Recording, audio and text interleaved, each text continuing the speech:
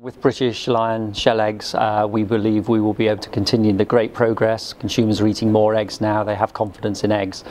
Where I'm most concerned is for egg products, and, um, and that's based on um, various um, updates of a, an EU study we had done at the um, LEI at Wageningen in um, Holland on behalf of the European Association.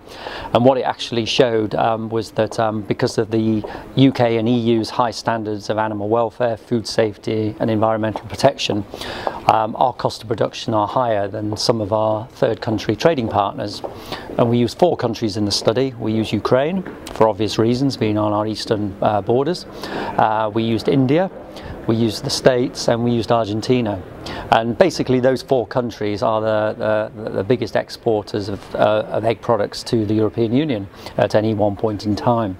And what it showed was each of those countries are so massively more competitive than us um, that left to the open market, if our government post-Brexit was to negotiate, for example, a free trade agreement with one of those countries, um, then we could be left at a real disadvantage. Um, and of course, any knock-on uh, uh, or, any effects on egg products could have a knock-on effect onto the shell egg market.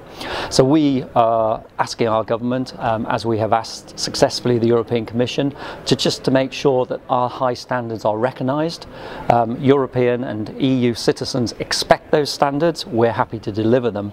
Uh, but what we mustn't do is leave our back door open to lower um, standard imports now we have new departments, uh, the Department for Exiting the EU, um, Department of International Trade, led by David Davis and, and Liam Fox respectively.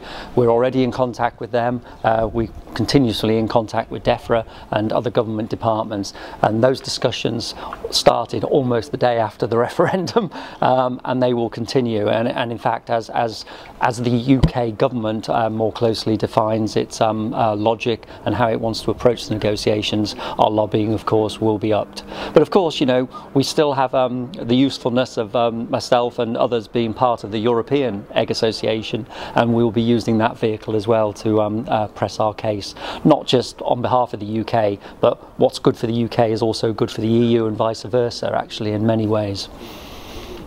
Well, look, this is part of the largest consultation with NFU members in a generation uh, following the UK's vote to leave the European Union.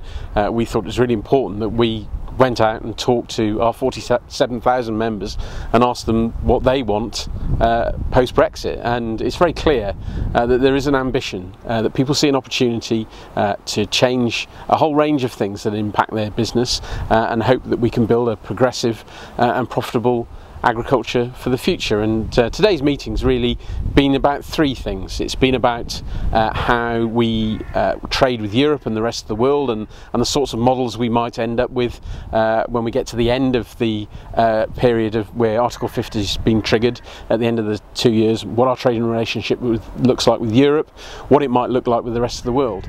But it's also about um, how uh, importantly poultry uh, growers and whether they're egg producers or whether they're poultry uh, meat uh, producers, how they can get access to labour and how the additional links in the chain can get access uh, to the right sort of labour uh, for the future. And I suppose the last thing then is about how we build a, a decent uh, and targeted uh, domestic policy for poultry uh, in the future. There'll be a, a, whole range of views in, in the room today uh, about what we need for the future, and, and it will probably take in things that don't immediately spring to mind when you start to think about uh, Brexit and you think about our relationship with the European Union. People will probably want to talk about planning. They'll probably want to talk about the other regulations that impact their business. And that's why this meeting is so important because we can take what we hear today and it can provide a really strong platform when we go and talk to government, when we say what this sector needs to continue to be the thriving success story uh, that it's uh, been for many, many years.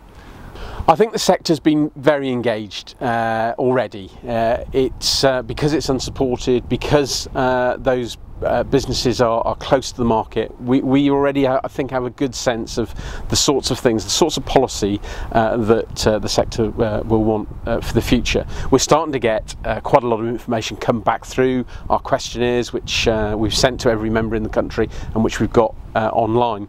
I suppose the difference today is we can really drill into to that detail. We can talk to those businesses and the businesses that are upstream and downstream of egg producers and really ask them uh, in detail what they would want uh, uh, from for, for, for, a thriving business for, for the future. And, and that's starting to come through loud and clear.